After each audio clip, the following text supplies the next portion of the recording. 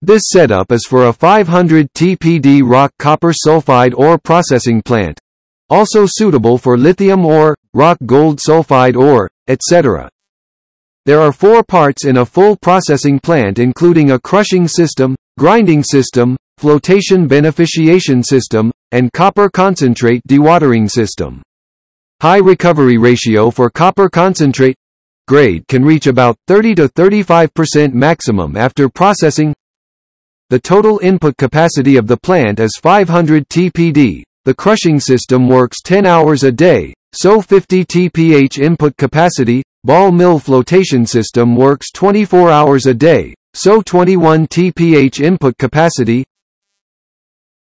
Main machines include a raw material feeding hopper, vibration feeder, primary jaw crusher, cone crusher, vibration screen, belt conveyor, small vibration feeder, storage bin, ball mill, spiral classifier, mixing tanks, flotation machines, slurry pump, thickener, disc vacuum filter machine, etc. 1.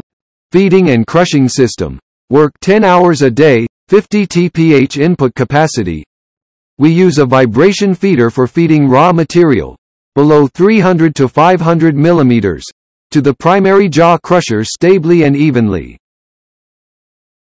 The primary jaw crusher is for primary crushing big stones below about 150 mm. Then output from the primary jaw crusher will go to the cone crusher for secondary crushing. The output from the cone crusher is about below 20 mm will go to the vibration screen. With one layer screen 20 mm mesh size, screen out 0 to 20 mm fine material go to stockpile on the ground, larger than 20 mm goes to cone crusher for crushing again, so the crushing system can work separated from the grinding system. 2. Ball mill grinding system.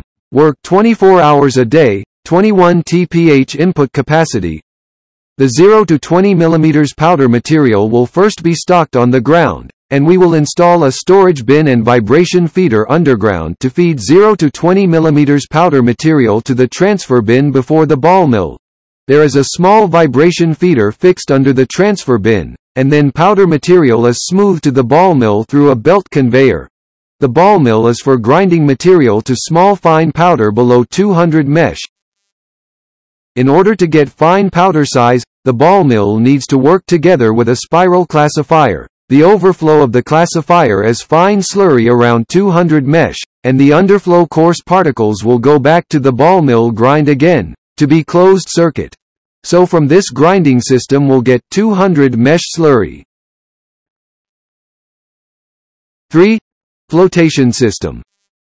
The 200 mesh slurry will be firstly sent to mixing tanks for mixing material and relevant chemicals completely. The flotation processing includes roughing flotation, scanning flotation, and cleaning flotation. Adjust the number of shoots of the flotation machine according to the raw material grade of the copper ore. 4. Copper concentrate ore dewatering system to get dry concentrate.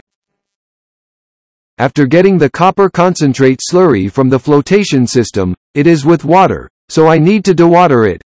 Because the size is very small, Fine 200 mesh, firstly use thickener to primarily thicken concentrate, make higher density, then use a disc vacuum filter machine to filter water, and dry copper concentrate ore with very low moisture, then can go to the packing system.